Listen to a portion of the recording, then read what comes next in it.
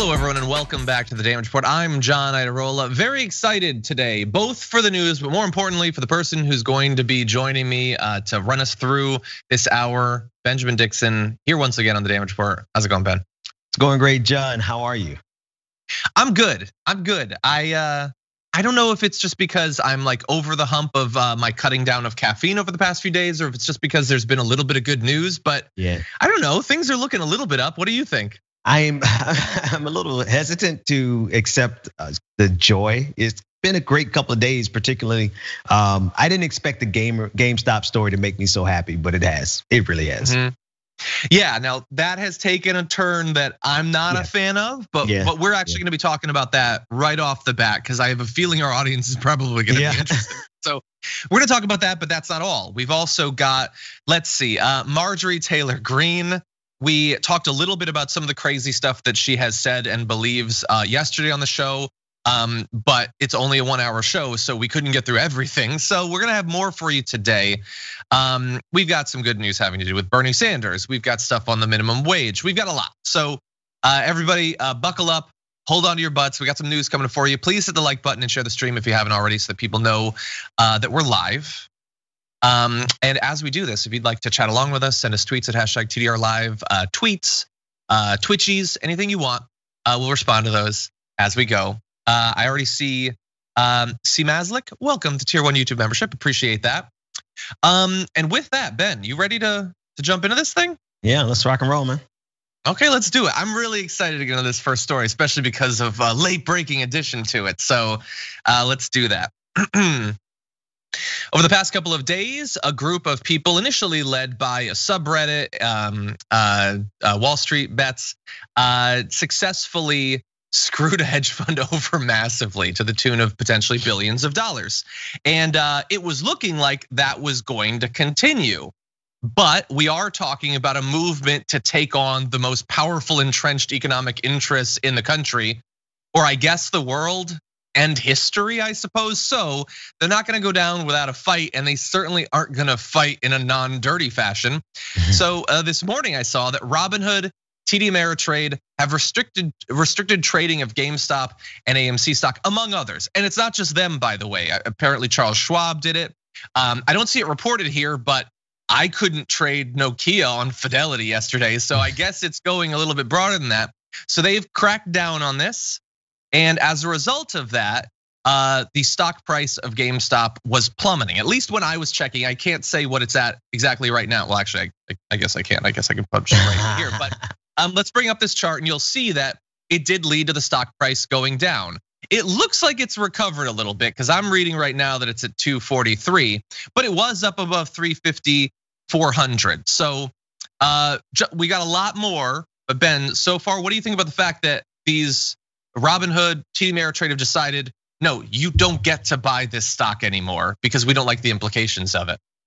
It just goes to show us that these institutions had no intention in dealing with us in good faith, right? Because as soon as we use the system against them to beat them at their own game, they pull the plug on it. So um, that's okay. We're gonna just find new ways of screwing Wall Street over and over and over again, the way they've screwed Main Street over and over and over again. Mm-hmm.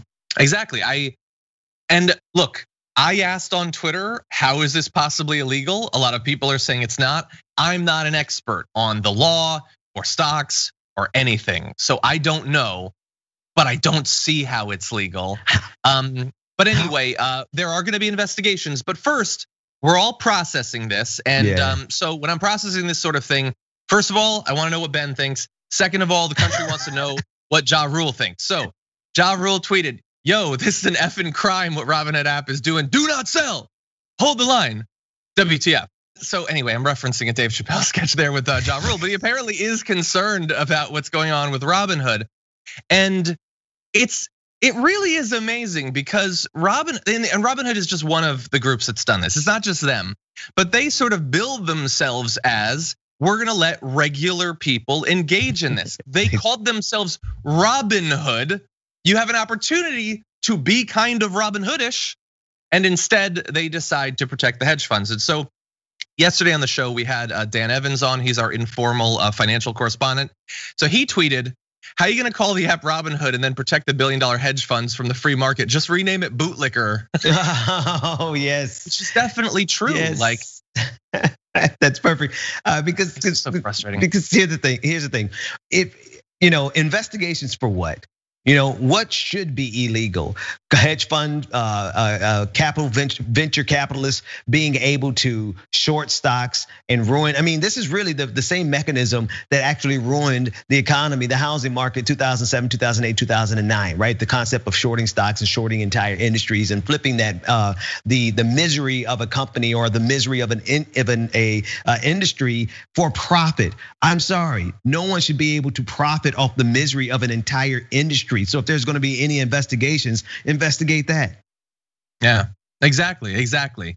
Um, and uh, we we're not going to re relitigate all of the negative effects of them doing this, but they, but they are significant. Um, and so maybe it's not a bad thing to have a little bit of a shock to those hedge funds to stop them from doing it or from doing it yeah. in such a willy nilly fashion, yeah. um, and causing all of the human and economic suffering that that results from that. But as I'm as I'm like going over the the argument that these groups are making, it's just like seeing TD Ameritrade said it placed restrictions on certain types of trading activity on the companies, quote, in the interest of mitigating risk for our companies and clients. okay, but you stopped people from trading this, so the stock price is plummeting. That's a risk to your clients. So, yes, you wanted to protect some clients, but not other clients. And it's pretty clear which ones. Robinhood, to give you an idea of what they're doing, I am reading that more than half of Robinhood investors own GameStop stock, probably pretty recently, but they own it. And that's just Rob, that's just GME, not the other ones as well.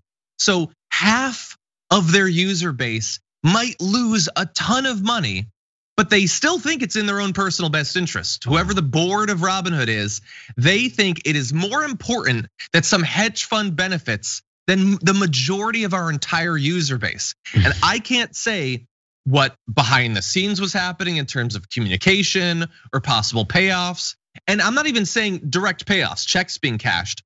But the I don't think that the idea that the Robinhood board might have ownership shares in some of these hedge funds is a crazy thing to speculate. Oh yeah. And so there's going to need to be some massive investigations into this because that would there's no way that them shutting down trading on their platform to protect their own financial interests isn't some kind of violation of something. Right, right. They are willing to, uh, but that shows you. Let's be sure. Like, there's also the very likelihood that these venture capitalists uh, have investments in Robinhood, and so they yeah. would be doing the favor of their shareholders by screwing over the consumer, right? Because in this case, the investors think that they're investors, but you're actually the consumer of this app, this Robinhood app, and so the real investors in Robinhood are the people who own stocks in it. And so, if they have a connection there, just pure speculation. But if there's a connection there, then that's probably how they could get away with it. I think people just need to realize that, you know, when you are actually the investor versus the consumer, and all of the people who use Robinhood to make this move, you know, you, your money is at risk, but Robinhood doesn't see you as an investor, they see you as a product. Mm-hmm. Yeah. Yeah, and by the way, uh, we haven't made any sort of financial advice in this, but just in case, it's always good yeah. to remind people. I said I was an expert, but I'm not a financial advisor obviously. Nor, am um, I. so exactly. So bear that in mind. I've already pretty much talked about my own personal um, involvement in all of this back and forth. It's not much, I'll tell you that. but with the the new uh, changes that have been made on Robinhood and Charles Schwab and TD Ameritrade and a bunch of others, uh, there are those now calling for some sort of investigation to see what was done, what kind of you know information we don't have access to, money possibly changing hands. Uh, I had a, there was a great tweet from Rashida Tlaib saying. This is beyond absurd. Uh, the Dems need to have a hearing on Robinhood's market manipulation. They're blocking the ability to trade to protect Wall Street hedge funds, stealing millions of dollars from their users to protect people who've used the stock market as a casino for decades, which is 100% what they're doing. Uh, ben Shapiro like is all whiny that people are talking about these being casinos, but that's what they are. They're these these hedge funds are literally betting. That's what they're doing. Yeah. And Representative Alexandria Ocasio Cortez added on saying this is unacceptable. We now need to know more about Robinhood app's decision to block retail investors from purchasing stock while hedge funds are freely able to trade the stock as they see fit. As a member of the Financial Services Committee, I'd support a hearing if necessary. And I saw that Ro Khanna uh, agreed to that. So I don't know about you, Ben. I personally would love to see Katie Porter with a whiteboard talking to the leadership of Robinhood and getting right. to the bottom of this. Right. I think this speaks really, it's really important to take in consideration the importance of this moment because it speaks to the political nature of software, the political nature of these apps. These are not just benign um, or passive things that are on your phone. These are political um, ideologies, philosophies, capitalism. These they they are deeply rooted. So the software that we download, uh, we really have to take in consideration the political implications. So I, I'm looking forward to the investigations. Exactly, exactly. And I expect that there's probably going to be a, there's there's a good number of representatives who actually will have the right position on this. It's mm-hmm. also like people have gotten worked up about it. So there's going to be opportunists who are going to pretend that they give a damn about this. Right. And um, one of those opportunists has already popped up. So uh, that AOC uh, tweet calling for an investigation, Ted Cruz uh, retweeted it with fully agree, pointing down to it. To which AOC responded, I am happy to work with Republicans on this issue where there's common ground, but you almost had me murdered three weeks ago, so you can sit this one out. Happy to work with almost any other GOP that aren't trying to get me killed. In the meantime, if you want to help, you can resign. yes. I feel like I feel like that shot from The Shining. Oh my. Um, yes, more. He wasn't ready. He wasn't ready. No. No, because he ain't good at this. He's not, and, and he needs to understand fools that jump up get smacked down. Sorry, that, that, that was the Pompano Beach coming out of me. Sorry about that. But no, seriously, AOC is not one to play with, right? And the reality of it is, is like even if they are on the right side of this Robinhood app issue, which I doubt they will be, I think it's going to be a fascinating opportunity for any of the libertarian-esque side of the gamer community to see very transparently just how much uh, Republicans would be opposed to them in this type of example of pulling out government regulations. But I digress. The point is, don't play with AOC. You're not ready to exactly. Exactly. And the, the the right loves to pretend that they're in favor of regulation of Wall Street. Like even Trump during the 2016 campaign, he was like, I'm gonna get rid of their like tax loopholes and I'm gonna crack down on them. He would always use this particular type of investor thing as proof that he's okay taxing the rich. Like right. that was the only part of it that had to do with the rich, but he would always point to that. By the way, they didn't do it. It was all a lie. The populist right doesn't actually exist. It's a scam. You need to be able right. to see past it. But he was at least savvy enough to know he needed to pretend Right. Ted Cruz is trying to do the same thing. He just ain't as good at it. It's just not, it's not as good. And they also have to pretend as if they're they believe in the free market, right? Republicans constantly mm-hmm. um, regurgitate that free market, free market. Well, the free market spoke. You just didn't like what it said, and now you you know a lot of conservatives are going to come on down on the side of um, of Robinhood and the investors instead of the people who rallied and used their freedom, right? Free market says let the markets answer it. Conservatives don't believe in that. Yeah, yeah. And by the way, um, you know, this is obviously getting very ahead of whether there are even going to be hearings, but if there are hearings, here's the thing. If Robinhood did break the law, which it really seems like either they did or the law needs to be changed, then whatever money was lost by their investors, they need to provide to them. We bail out Wall Street when Wall Street gets screwed over by the natural conclusion of the reckless behavior. These people they weren't being reckless. Right. They were trading and it was working. They were pursuing a successful financial strategy, and these few financial elites kneecap them. And some regular people are gonna lose everything. So either hmm. they need to bail them out, or maybe the government needs to actually bail out regular people. John, just one last thing. This speaks to this is literally the case of uh, the powerful having to break up collective action, right? What they do not want in any scenario, whether it be on Wall Street, right, in the markets, whether it be consumption and just purchasing, whatever, you know, none of these major organizations, none of these box stores, none of these, you know, uh, corporations can afford to let the people get organized because if we do, we could break their institutions overnight. Yeah, yeah, demonstrated by Reddit. We need to talk about a relatively new show called Un the Republic, or UNFTR. As a Young Turks fan, you already know that the government, the media, and corporations are constantly peddling lies that serve the interests of the rich and powerful. But now there's a podcast dedicated to unraveling those lies, debunking the conventional wisdom. In each episode of Un the Republic, or UNFTR, The host delves into a different historical episode or topic that's generally misunderstood or purposely obfuscated by the so called powers that be, featuring in depth research, razor sharp commentary, and just the right amount of vulgarity. The UNFTR podcast takes a sledgehammer to what you thought you knew about some of the nation's most sacred historical cows. But don't just take my word for it. The New York Times described UNFTR as consistently compelling and educational, aiming to challenge conventional wisdom and upend the historical narratives that were taught in school. For as the great philosopher Yoda once put it, you must unlearn what you have learned.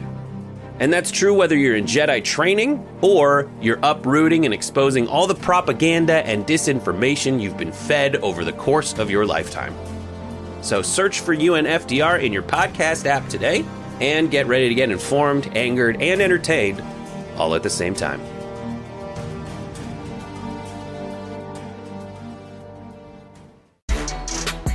New representative Marjorie Taylor Greene has been facing calls for her expulsion. Uh, this has been going on for about a week, but they're getting louder because she's crazier than we thought she was a week ago. Now, last week, we were infuriated by the fact that she had uh, agreed with comments online calling the 2018 shooting in Parkland a false flag operation, mm. which means that it was all faked. You know, the stuff Alex Jones is in legal trouble for. Yeah, no, your congressperson has a chance of believing that. Um, she also liked other comments calling David Hogg a survivor of mass murder, hashtag little Hitler, and spread a conspiracy that he was a bought and paid little pawn and actor. So we're gonna show you the video, which you're probably thinking of already. But I want you to also take a look at this. This is a meme that she posted of David Hogg. I gave up mine, you give up yours. Definitely not a gun show, she says. Mm. This is one month after he survived an attempt at his own murder that took the lives of many of his friends she was tweeting about how that high schooler's arms aren't impressive enough for her. That's what this congresswoman, now congresswoman, was posting on Facebook there. That she wasn't turned on enough by this kid's biceps. Anyway, she didn't just post comments, she also stalked him in real time. So here is a video in DC of her following David Hogg around. Yeah. David, why are you supporting the red flag laws? If there had been, if Scot Peterson, the resource officer at Parkland, had done his job, then Nikolas Cruz wouldn't have killed anybody in your high school, or at least protected them. Why are you supporting red flag gun laws that attack our Second Amendment rights? And why are you using kids to get to, as a barrier? Do you not know how to defend your stance? Look, I'm an American citizen. I'm a gun owner. I have a concealed carry permit. I carry a gun with for, for protection for myself, and you are using your lobby and the money behind it and the kids to try to take away my Second Amendment rights. You don't have anything to say for yourself? You can't defend your stance? How did you get over 30 appointments with senators? How'd you do that? How major press coverage on this issue? And how did you get kids? Why do you use kids? Why kids? You know, if school if school zones were protected by with security guards with guns, there would be no mass shootings at schools. Do you know that? The best way to stop a bad guy with a gun is with a good guy with a gun. But yet you're attacking our Second Amendment. And you have nothing to say. No words. So I'm walking. Got nothing to say. Sad. Yeah, elsewhere in the video, she accuses him of taking Soros money and big liberal money.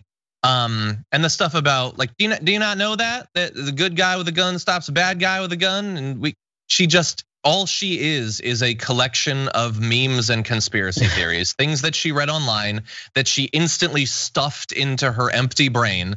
That's all it is. And uh, we're gonna have more, but Ben, I wanted to give you a chance. Um, what do you think about that now, Congresswoman? Um, I, am curious how much that bag cost. I don't think that bag is particularly cheap. And the only reason I bring that up is because, you know, she likes to position herself as a victim here, right? And the only thing that she can use to position herself as a victim is the Second Amendment. This imagined fight against the Second Amendment um, that, you know, generally speaking, most Americans aren't trying to get rid of the Second Amendment. That's just a scare tactic. Most people just want to make sure that we stop killing our children in school. And so she's pitting her imagined grievance, right? When she has everything that she wants, and I don't know bags and purses, but I just got a feeling that's not a cheap one. She's got it so good that all she has time to do is go harass a survivor of a mass shooting. Yep. To fly cross country to harass someone who is processing the PTSD of watching their friends gunned down. Now, before we go to his response, which does exist, I wanted to help people uh, understand one part of what she said there because it's a little bit confusing. What you need to understand is that she is both dumb and crazy. And so sometimes what she says is explained by being dumb, sometimes by crazy. So what she kept saying there was, why do you use kids? Why do you use kids? And, and a rational person might hear that and think, wait, what are you talking about? Why does he use kids? He's a kid. Kids were murdered. That's why they use kids. And it doesn't make sense. Now, it might seem like maybe she's just dumb enough to make that point, but no, in this case, it's not dumb. It's actually stupid. The reason, or it's actually crazy.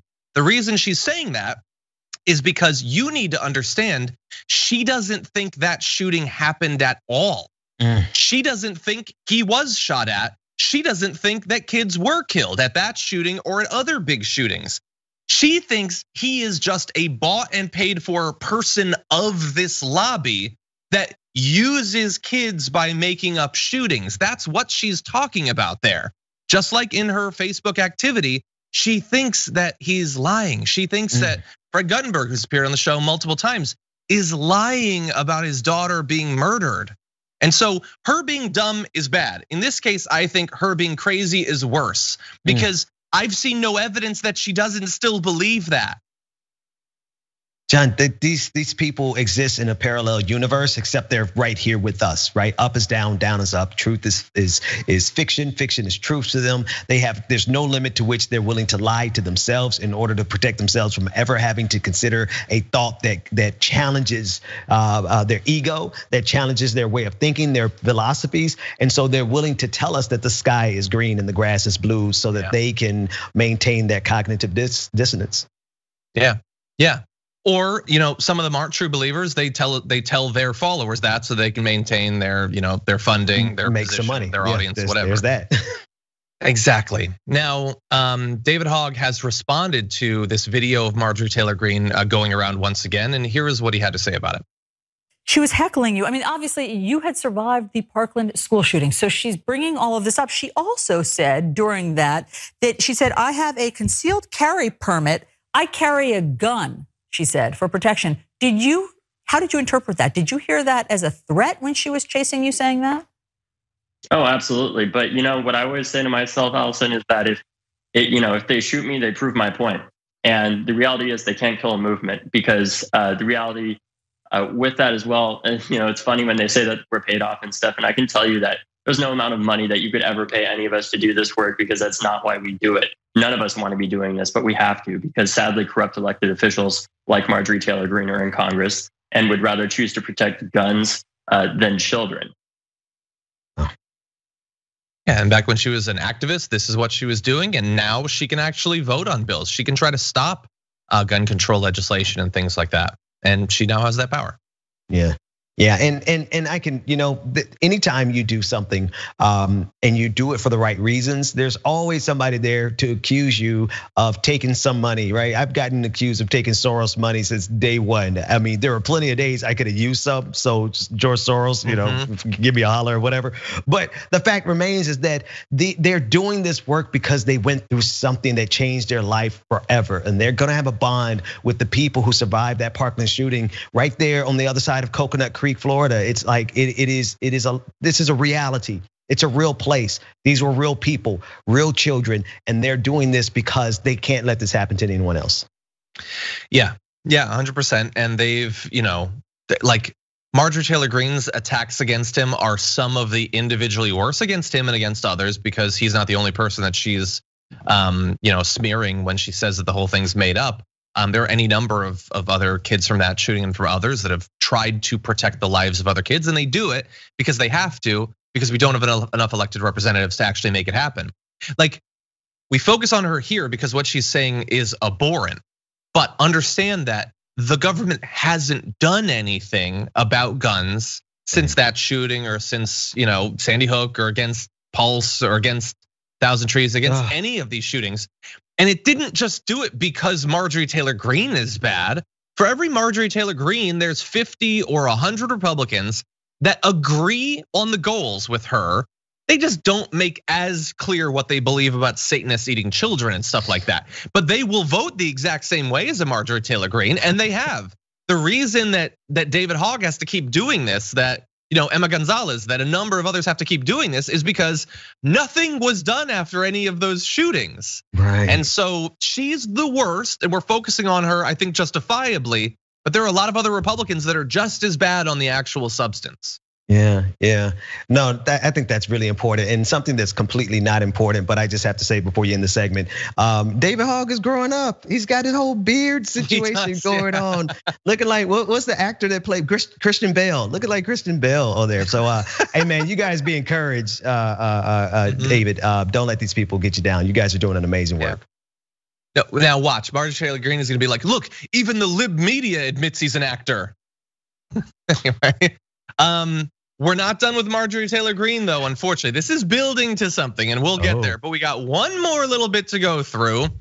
Marjorie Taylor Greene isn't just a person who believes that every shooting is a false flag and that babies are being eaten for their hormones. She also believes some insane things about other elected representatives. And I know what you're thinking. John, you're talking about all those posts that she agreed with that she wants to get Nancy Pelosi shot and she wants Barack Obama to be hung. No, I'm talking about a different issue. Here she is when she went to the Capitol to try to protest the swearing in of then new representatives Rashida Tlaib and Ilhan Omar. They signed it, they swore in on the Koran. Oh, we have the Bible. We're going to talk about swearing in on the oath, how to swear in on the Bible with them mm-hmm. and let them know what our law says yes. that you can't swear in on the Koran. So we're going to we're going to explain to that. You know, we're going to explain about how you can't swear in on the Koran, and we're going to have the Bible and ask them if they would swear in on the Bible that we really need we have them. The oath. Yeah, we have the oath. Yep. So I think no, that's important. The sad thing is now you, are infringing on our religion. Which they, you should you're, not. You're infringing on our religion. Yes. By saying that we can't swear in on the Quran. But when they swore in, it wasn't a law yet, right? So at the time they swore in. I don't know. I think at the time they swore in that wasn't passed. Yeah. Because it wouldn't have been passed in a Republican control. Right. Yeah, so it was passed after they swore in. So they're not really official, I don't think.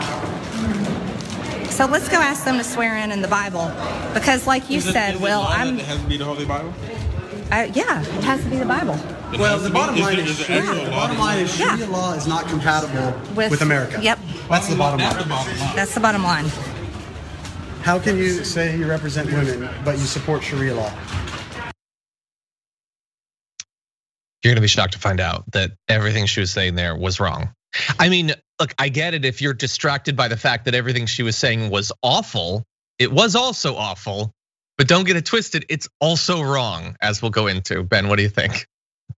She thinks the Constitution wasn't passed by the time people swore in on the Quran or whatever she's complaining about here. Folks, she's not by herself. That's all I want to say. She's it, mm-hmm. there. There are a lot of people, and and you know, I'm listening to her accent, and I'm like, it doesn't help that her accent. Um, it, you know, she has a southern accent like me, a little bit deeper. There are a lot of brilliant. Um, even brilliant conservatives from the South. Some of them are my friends, but she is not one of them. She's not. she is not. And so, look, um, she's there not because of some good faith, if entirely misplaced concern about sticking to the letter of the law. She's there because she hates Muslims and she doesn't think that you should be able to be elected as a Muslim. That's at the end of the day um, why she is there. And she's wrong. Mm. What she was insinuating in that video was that there was some law that required all members of Congress to be sworn in on the Bible. At the time of Mrs. Omar and Mrs. Tlaib's ceremonies, she claimed there was no law allowing them to use a Quran over the Bible. Now, this is, of all of the insane Marjorie Taylor Greene things we've said, probably the most broad brush one because there's tons of Republicans that seem to believe this.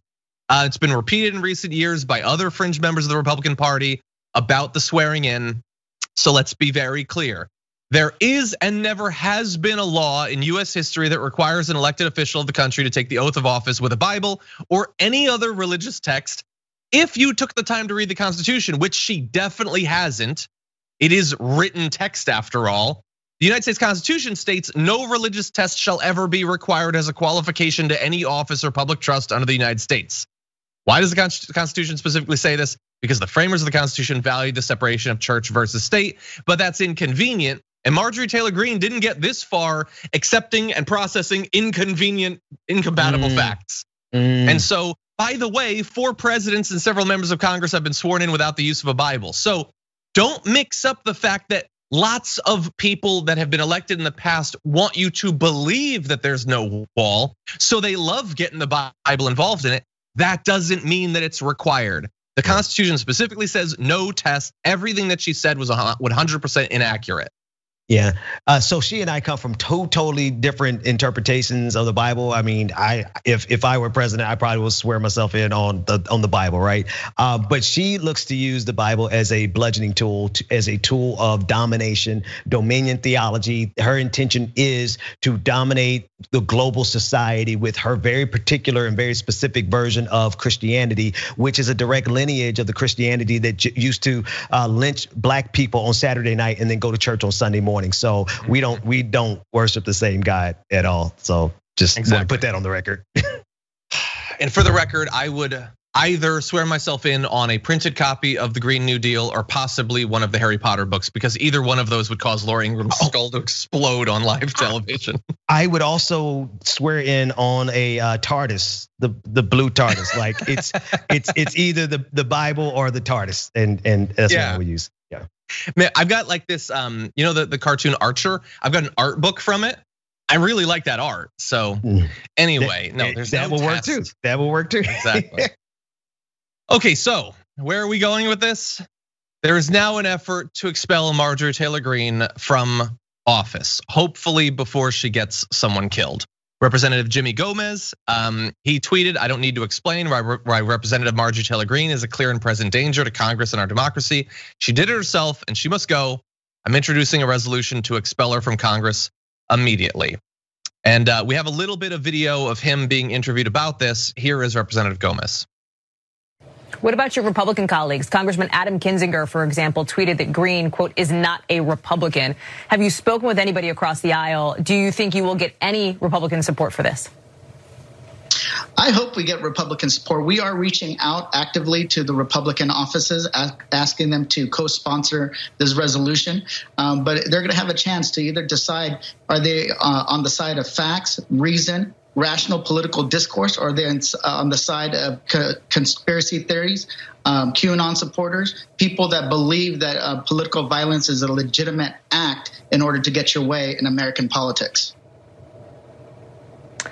The Republican leader, Kevin McCarthy, um, plans to have a conversation with Green, according to Axios. Is it not enough for you that Republicans hold their own accountable?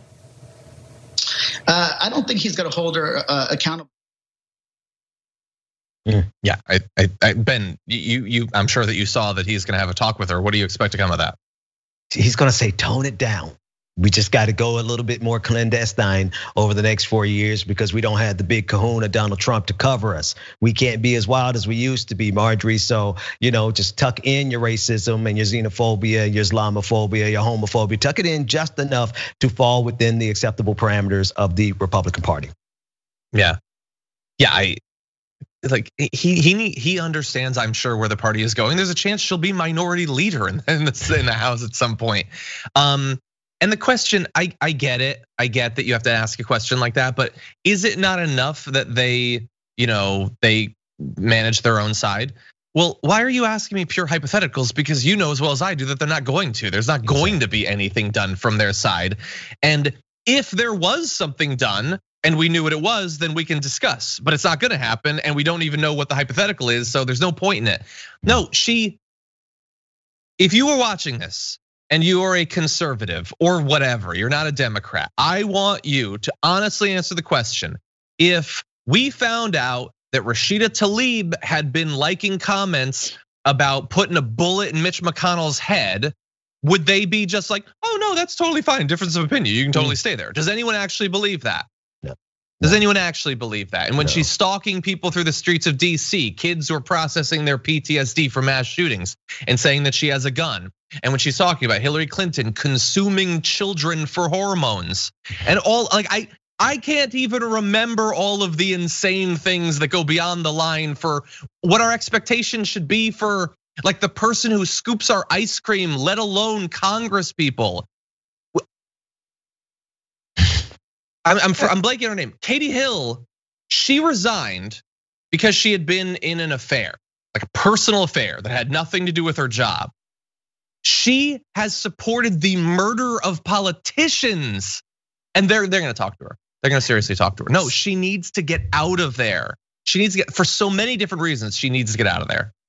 She is a direct. She has a direct lineage with the people who marched up the steps on January 6th. I forget the exact date, but right uh, before the inauguration, she has a direct connection to them. She's from the same train of thought, the same type of thinking, the type of people who will destroy this democracy because they have to maintain some QAnon level delusion mm-hmm. in order to not to come to terms with the fact that they are part and parcel complicit with the problems in this country.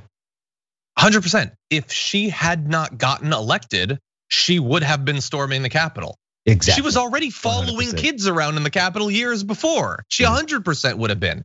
Anyway, I want to go to one last thing to, to perhaps explain why you should not have high expectations from Kevin McCarthy. Here is Representative Alexandria Ocasio Cortez on him. I actually sense a profound difference between the Republican caucus of last term, the 115th uh, Congress, and the Republican caucus that of this term that we are now what a few weeks into at this point. Um, and that difference was that it really felt that last term the Republican caucus was one of extreme fealty to Donald Trump. Um, there were some that were true believers, um, others that simply remained quiet out of cowardice mm-hmm. um, and out of fear of the president's retribution. Um, but this term, there are legitimate white supremacist sympathizers that sit at the heart and at the core of the Republican caucus in the House of Representatives. And when you see someone like the like the, the House Minority Leader Kevin McCarthy of the Republican Party uh, respond to white supremacist vitriol coming from his own members, not with censure like they did with um, Representative Steve King of Iowa, um, not with you know being stripped of committees, not with any consequence. You have to wonder where who actually has that power, and it increasingly seems, unfortunately, that in the House Republican caucus, Kevin McCarthy answers to these QAnon members of Congress, not the other way around. Wow. That's pretty strong. Wow. Don't Let's mess see. with don't mess with AOC because that's the core of the issue. The issue is is that they create a, a, monster and they played Republicans. They have been playing with the monster for the last 40 years and now it's coming back to eat them. And, and she's right. Kevin McCarthy isn't in charge. Not at all. And didn't Kevin McCarthy just go down and meet with Trump? Was that him? I don't want to give people misinformation, but Sophie's shaking her head. Um, yeah, does everyone remember what what Trump had to say about QAnon during the election? They're just good people. They're just They're good, people. people. They love America. They love right. Trump. I hear. They're yeah. worried about the kids. The kids. So, no, he he knows he knows exactly what QAnon is because he spends every minute of his life that isn't spent looking at Fox and Friends, looking at his phone, which is on right wing BS websites. Right. He knows what it is. He's okay with it. Kevin McCarthy is deferential to him. That is the Trump thing. Well, what is what is the crossover between QAnon and MAGA? Oh, like you think there's a lot of QAnon people who are like, well, I don't want to make America great again. Anyway, the Venn yeah, diagram. The, the Venn yeah. diagram is spectacular on that one. Exactly. So We'll see, Kevin McCarthy. Maybe you don't, and maybe you aren't so scared of the future of your party and your own position of leadership that you're terrified that Lauren Boebert or Marjorie Taylor Greene or Madison Cawthorn are going to replace you in the next couple of years. but you have to demonstrate it. So we're gonna see what you do. And I got an idea of what it's gonna be, and it ain't gonna be much. Hey, uh, so there was this meme, and you're probably not familiar with it. Like you have to be like really cool and online and know what it is, but it had to do with a picture of Bernie that you can see here. You're seeing it now for the first time. Uh, but a lot of people actually went pretty crazy from this. And so it became this big thing and it was everywhere, including on Bernie Sanders' campaign store, where he was selling this Chairman Sanders design to raise money for charity. And raise money they did. They raised $1.8 million in five days for different charitable organizations selling those shirts. And Bernie Sanders uh, put out a statement in response to that amazing haul of money saying, Jane and I were amazed by all the creativity shown by so many people over the last week, and we're glad we can use my internet fame to help Vermonters in need. But even this amount of money is, this is where it gets so Bernie. But even this amount of money is no substitute for action by Congress, and I will be doing everything I can in Washington to make sure working people in Vermont and across the country get the relief they need in the middle of the worst crisis we faced since the Great Depression which is great because like obviously the 1.8 million dollars doesn't mean that like oh 2020 didn't happen, but he can do both. He can do mm. both. Right. You know, I shout out to my president, Bernie Sanders. Like, don't get me wrong. Thank you, Joe Biden, for getting rid of Donald Trump. But as for me and my house, in terms of how we want to uh, help the people, I want to always keep that spirit that Bernie has. Exactly. Yeah. Yeah. I, you know, I know that it, like it's so early into Biden's term that if you're one of the leftists that like, man, I you know I kind of still I wish it was Bernie. A lot of people would be like, shut up, why are you why are you being negative? It's good Leave time. us alone. Let us let us enjoy. Let us have something, okay? You guys pulled a fast one on us on Super Tuesday. Let us have this moment, all right? Exactly. and by the way, like I supported Biden, and how much credit have I been giving him the last week? I'm same side, same side. Yeah, I'm with you. Yeah. I'm not with the Boogaloo Boys. But that said. Bernie was my guy, and I kind of think it would still be great if he was president, but it's not going to happen. Okay, right, so right. you get the last laugh. He's never going to be president. Yeah, but, but, anyway, but but no one no one's going to ever be cooler than Bernie Sanders. No no chairman of the budget committee is ever going to be as cool as yes. Bernie Sanders. There you go. Exactly, exactly. And I can't wait to see what he does in that.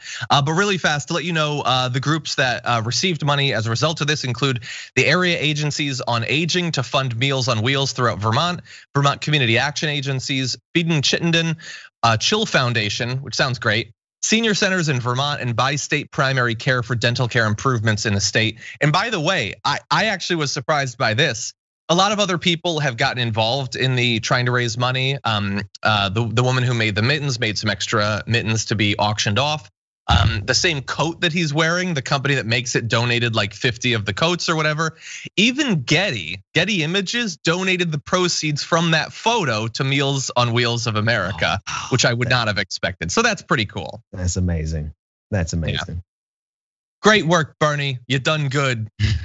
um, yeah. Anyway, now that's the good news. Let's move on to a little bit more negative news. There are a lot of state governments that don't do the right thing, but some states allow people to weigh in. And uh, in the past few years, there have been a number of great ballot initiatives that have accomplished what state governments won't.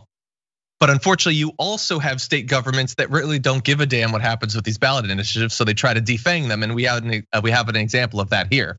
Less than three months after voters approved a constitutional amendment to raise Florida's minimum wage to $15 an hour, a Senate Republican has filed a proposal that could lead to some workers making less than that.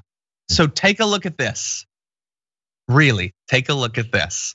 The amendment approved in the November election will increase the minimum wage to $10 an hour on September 30th, and annual increases will bring it to $15 an hour on September 30th, 2026.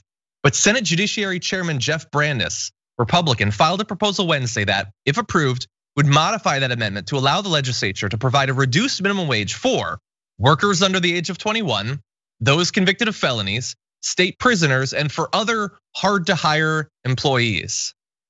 So we've got a little bit more on like theoretically him trying to defend this, but he is just saying like if you're one of these groups, we want you to be standing next to other workers doing the exact same job but because we don't like your group, we want you to make significantly less money. Mm. That's amazing, Ben. Yeah, it's a, it's and they're so transparent with it. The other thing is the timeline, right? 2026. I mean, the, the minimum wage right now, if it kept up with workers' efficiency, should be somewhere around $22, right? So by 2026, that efficiency should probably be $30 an hour. And, and, I, we got to get out of this, um, this type of incrementalism that seeks to pacify and assuage the anguish of the people with solutions that are going to be insufficient in the future because they're insufficient now. Yeah. I mean, that's so yes, uh, that's a problem, and that's a problem with with this ballot initiative, but also with what's being discussed in Washington. It's you know it's obviously a much better situation than keeping it 725, which Trump would have been yeah. perfectly happy with eliminating yeah. it altogether. Lots of Republicans would, um, but all of your criticisms are 100% valid.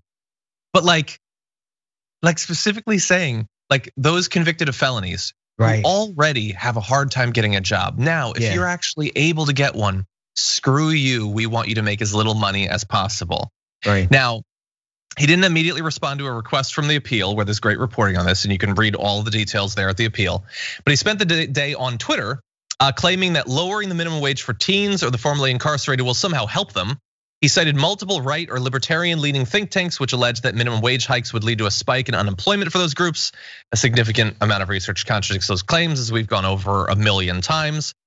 Um, one representative from Florida uh, pointed out that higher wages will keep people out of prison, which they claim is their goal to not have recidivism and all of that. He responded to that saying, once they get a job, but but you're not doing anything that changes the chance of them getting a job. You're just trying to hurt them if they do get a job. So right. Right. I don't even understand that response. But she responds to that saying, and the jobs they find right now pay poverty wages, which often put them back into prison. Increasing the wage will keep them out of prison. If your point is that we don't have enough jobs for the incarcerated, let's create them, not punish them. And also, hard to expect the formerly incarcerated to pay their fines, fees without a good paying job. Just saying, which actually ties very well into another topic, which we're gonna get to in just a second. But that seems like a great point. If you want people to not get in prison in the first place, let alone go back to it, yeah. pay them a good wage. Yeah. And John, John, back to your, your your first point too, right? That can't be overstated. You know, the fact that they're trying to vilify in, in this way, they're trying to use um, someone's past to vilify their future, right? And and the, the willingness to do that really, you know, as as the people, you know, we the people, us, you know, all of us, if we allow them to do this with returned citizens, people who have paid their dues and their debts for what they did, uh, if we allow them to do that for them, then it's obviously a backdoor way to keep minimum wage reduced for as many people as possible. So we can't allow them to use our fear of returned citizens and to vilify them because it's going to end up hurting us in return. Exactly. And Uh, this isn't the first time that Florida has tried to either totally eliminate or defang a ballot initiative. Yeah. It's not even the first time they've done it with regards to returned citizens. So yeah. the Florida, Florida legislature has long treated grassroots ballot initiatives with open. Contempt. In 2017, after more than 70% of state voters elected to legalize medical marijuana, state lawmakers responded by temporarily making it illegal to smoke medicinal weed. In 2018, when a supermajority of Floridians voted to return voting rights to at least 1.4 million formerly incarcerated people, the GOP dominated legislature passed a glorified poll tax that made sure that 800,000 of those people remained ineligible to vote. So they basically said, um, you still can't vote until you pay off all these fines and we're going to make it virtually impossible not only for you to do this and by the way this is one way to help make it impossible for you to pay off those fines by making sure you earn as little as possible. But in many cases it was almost impossible to even find out what your fees were. They'd created a system that was impossible to navigate. Even if you 100% just wanted to pay off your debt to society monetarily in addition to the incarceration which you already paid they made it impossible because the goal is not to stimulate more civic responsibility.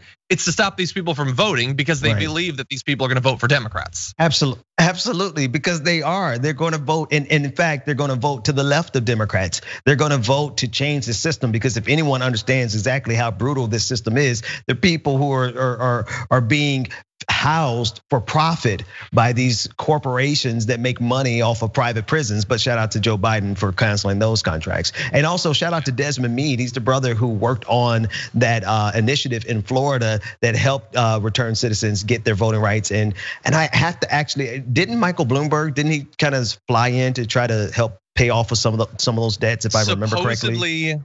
Supposedly yeah. he did actually. Yeah, I don't I don't remember a final amount, look at you giving credit to him. Didn't expect to see that. I didn't either, but if he actually does it, hey, you know, broken clock, exactly. right?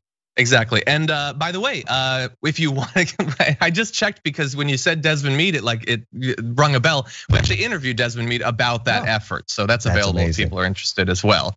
Um, anyway, yeah, just the demonization. By the way, uh, shout out to Bernie Sanders, who relatively early on in the primary uh, last time around called for uh, people still serving their sentences to be able to vote. Because uh, newsflash, there's nothing in the Constitution that says that they shouldn't be able to. That's just a thing that we decided.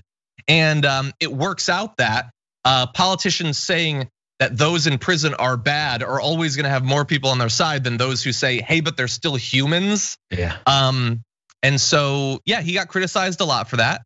And uh, now it turns out that people around the country think that you don't necessarily lose all of your consideration, your you know human worth, and all of that when you go to prison.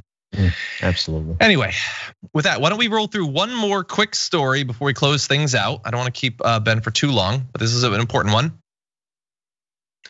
Elections have consequences, and uh, from a long enough point of view, one of the biggest consequences is what happens with the federal judiciary. And so, with Donald Trump winning in 2016, we saw that he has now put one third of the Supreme Court on. So, that's gonna be fun for the rest of our lives. But this time, Biden won. And that is already going to have a significant impact because five federal judges with lifetime appointments have announced plans to retire or semi retire since last Wednesday, just the first week since Donald Trump left the White House, according to data provided by the Administrative Office of the US Courts. That's after eight judges had already announced their plans to step down uh, once Biden was declared the winner of the 2020 presidential election. On Tuesday, two more US district judges announced their plans to take senior status which is like a sort of uh, initiation into semi-retirement that will inevitably lead to them being retired. And one wrote, by the way, this is uh, US District Judge William Alsup wrote, "Congratulations on becoming our new president. I feel it's time now for me to go senior." So it seems like a bunch of these people were waiting for Trump to finally be gone. And uh, so we're gonna have some more numbers for you, but Biden is already gonna have some vacancies that he can fill, which is the beginning of a process of trying to undo some of the damage to the judiciary that Trump was able to do over the last four years. Mm, mm. I'm just looking at the um, Ruth Bader Ginsburg icon you had behind you on your shelf because that was that was a really tough time this summer when when she passed away. And I mean, of course, there's the judiciary up and down, um, not just the Supreme Court. So uh, this is the time for anyone who can retire uh, because we see what Republicans do with when they get within 75 yards of the of the field goal, right? They go for it, and so we can't afford to play that to risk that again. No. Yeah. Yeah, and so we're gonna see that with um, you know district uh, and appellate judges. We'll we'll see about the Supreme Court. I don't know. I think the oldest current Supreme Court justice I think is 86 years old, which is certainly up there. Um, the one who served the longest is Clarence Thomas, but he's a bit younger. If he were to retire, that would be significant. There, none of this is going to result in the Democrats uh, in having any sort of majority or anything like that, but it will at least be a start. Right. Now, um, let's talk a little bit about some of the numbers. Eight of the retiring judges were appointed by Bill Clinton, two by Barack Obama, but five were appointed by President George W. Bush. Um, which means that as of Wednesday, Biden has 46 district court vacancies and three appeals court vacancies uh, to fill, which is a good amount. But understand that it is not nearly as much as Trump had when he came in. Uh, the federal judiciary had 117 vacancies due to deaths, retirements, and promotions shortly after Trump took office in 2017, which is uh, a bit more than twice as much. And that, of course, is because Mitch McConnell had stopped Obama from getting yes. judges for what felt like years by the time the transition happened. And that meant that in the end, Trump put more than 230 people into lifetime judgeships. That's far more than Obama at 175, who served for twice as long, Bush at 206, Clinton at 204. So we're talking about two eight year presidencies still couldn't match up to what Trump was able to get in four years because of the Senate. So that's just to remind you of how much work there is to be done to try to reverse some of that damage. Damage that you know is already cropping up with uh, immigration um, executive orders, but is going to touch on everything, including possibly the ACA, minimum wage, Medicare for all, the Green New Deal if it ever gets proposed. A lot of these things. There are all sorts of little like landmines out there in the form of Trump judges that would love to overthrow all of it if it happened. Yeah, there's been some significant damage, and thank you for pointing it all out. And that's why this is the damage report. it is. It is. Anyway, Ben, as always, it is a pleasure to have you on the show. Um, but I want to reassure people that though you're not going to be on the show tomorrow, your show goes on. Actually, multiple of your shows. So where can people yes. watch those? You all need to tune in every morning at 8:30 to the Morning Trap. It's me, but it's with all of my friends, and we had a great time this morning. Go check out this morning's episode every morning at 8:30 Eastern on uh, YouTube. Awesome. Thank you so much, Ben. Appreciate Thanks it. Thanks for having me. Take care. A lot of people are wondering what the future holds for Donald Trump. What is he gonna do? How is he going to worm his way back into our head? Well, we don't have all the answers for you, but we do have someone who's gonna join us now to talk a little bit about the future of the relationship between Donald Trump and the Republican Party and their leadership at the very least. Joining us once again is the senior Washington correspondent for Business Insider, Dave Levinthal. As always, welcome back to the Damage Report. Hey, thanks for having me, John. Uh, glad to have you here. So uh, the Republican Party has been, from at least an outsider's point of view, unfailingly loyal to Donald Trump, up to and including uh, most of the members being okay with his attempt to overthrow the election. So I have to imagine that the relationship is strong, right? I mean, after all they've given to him for years now. And it's strong to the point of Donald Trump wanting it to be strong. It's possible, John, that there could be a schism here a, a divorce. And here's one big reason why Donald Trump may get sick of the Republican Party. He may want to leave. He may want to form his own party, and reporting has it that he potentially is entertaining that idea. Now, whether it happens, whether that's ever going to become a reality in a month or a year, or be it when it is, we don't know at this point. Donald Trump may not know at this point. Mm-hmm. But the fact of the matter is that Donald Trump, he came in and he took over the Republican Party. The Republican Party became the party of Trump. And now that Donald Trump isn't president anymore, well, he's uh, he's got some options, even though he uh, doesn't have the option that he, mm-hmm. he wants to engage in right now, which is another four years in the White House. Exactly. So you've had some great reporting um, in the recent past, including with uh, Tom LoBianco, who's also been on the program, about some of what we know about what's going on with the RNC and Donald Trump over the future of certain assets like voter data files and things like that. Why, why is that so important for the future of this relationship?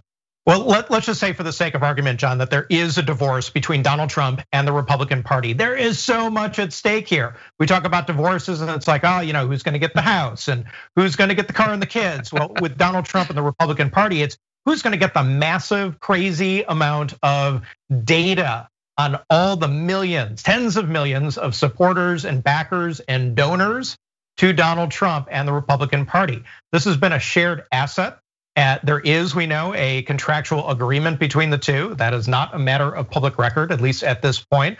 But what we know and what we reported is that this is just an incredibly valuable uh, asset. Uh, and Donald Trump has, you know, kind of the uh, kind of the upper hand here in the sense that this was his presidential campaign. And if he is able to take that information, use that information, even rent or sell that information, it's a huge commodity. It's very valuable. And Donald Trump not only will be able to breathe incredible amounts of life into whatever that next act is for him, but also too, he can just make a heck of a lot of money off of mm. it as well. Okay, so I, I, was a little bit confused because it seemed like, in terms of having access to the data, it seems like it'd be in the best interest of both parties to continue to have it. But you're implying that he might, in the future, either sell it or loan it out, like to future campaigns, possibly people running for senator, for the House, that sort of thing. Well, let's just look at Mitt Romney back in 2012, just as a quick example. He ran for president, he lost. And then he had all this information on all these supporters. He spent years renting that information out to data brokers, to Newsmax, to all these different places that were really interested in marketing uh, or or getting access to that information so they could resell it to another third party. Uh, I mean, this is valuable information. So buyer beware, or at least you know supporter beware. When you give your information to a political party, it's not just going to the campaign that you're supporting. Okay, it might be going any of a dozen and one different places, including people who have a profit motivation as opposed to just a political motivation. One consideration here, but it's a important one for Donald Trump and of course any political entity that's out there trying to do politics.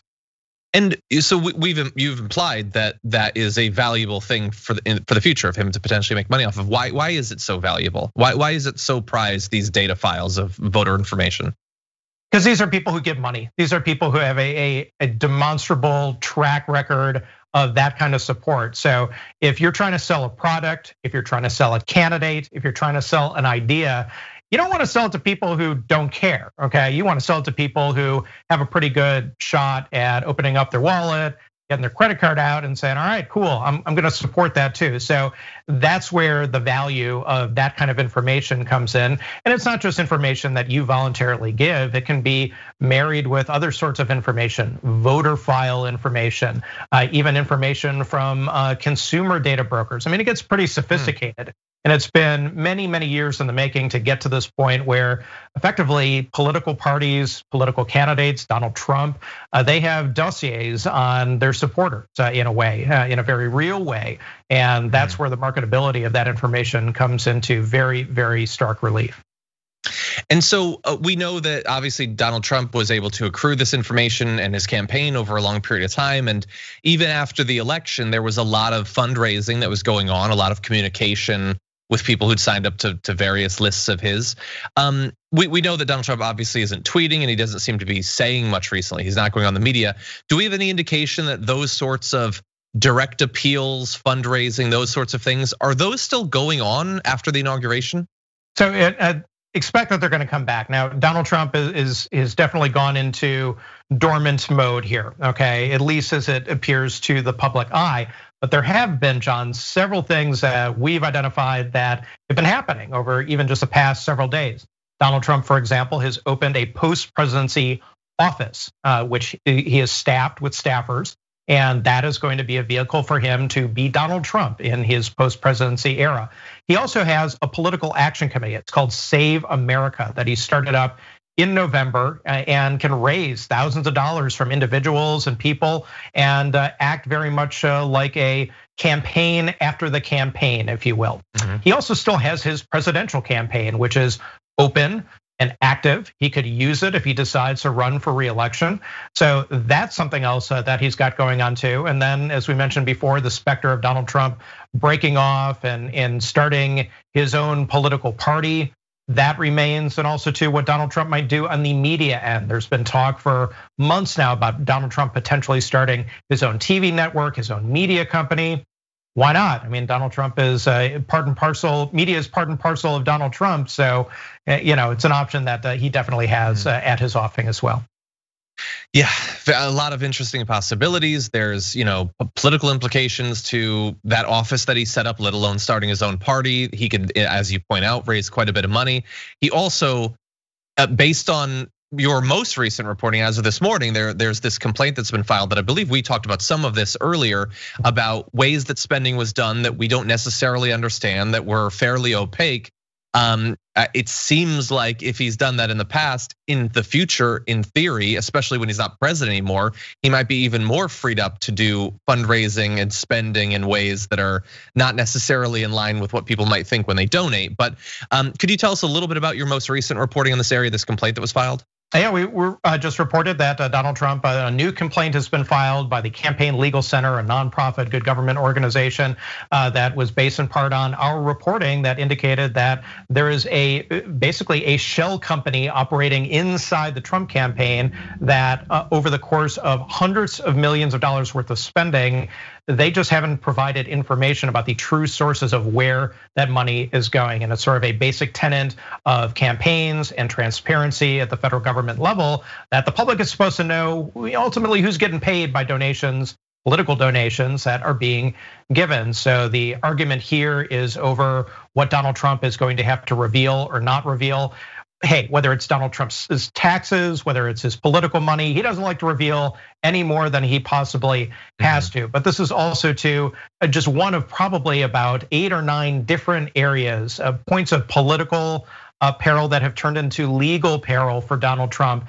Criminal matters, civil matters, federal, state, local matters. We've got, of course, impeachment that's coming up, but there are all these other court fights that Donald Trump could potentially face, or fights in regulatory agencies like the Federal Election Commission, which is the venue that we're talking about right now.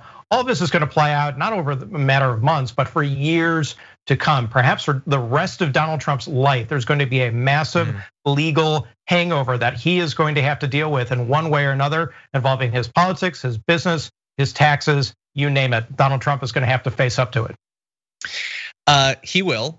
I have a question for you though, because you've done obviously a lot of reporting on Donald Trump and the legal challenges against him, holding him accountable.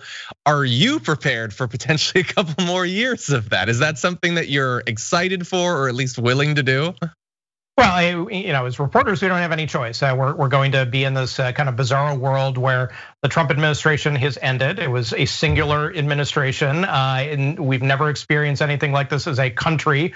Definitely, as a political reporter, we've never experienced anything like it. Joe Biden, we can just see in the first few days of his administration that the style, the tone, the tenor, the approach to government, everything is different, okay? But Donald Trump is not going away. And it would be journalistic malpractice to just simply ignore Donald Trump as much as a lot of people would love to ignore Donald Trump and just say, ah, you know, he doesn't matter anymore. I mean, he can run for president again, okay? He's gonna be doing things in the public domain that have to be, uh, you know, he's a former president. So we are absolutely mm-hmm. going to continue to watchdog Donald Trump while also uh, doing our jobs and reporting on the issues of the moment with the Biden administration coming in and a new Congress. There's a lot to handle. Um, but I already look forward to your future reporting on the inevitable financial scandals of the Patriot Party. So uh, we'll definitely have talks about that. Um, for those watching, uh, Dave's work is available on Business Insider about both of the topics that we talked about today. And as always, Dave Levinthal, thank you so much for joining us. Hey, appreciate it, John. Thank you.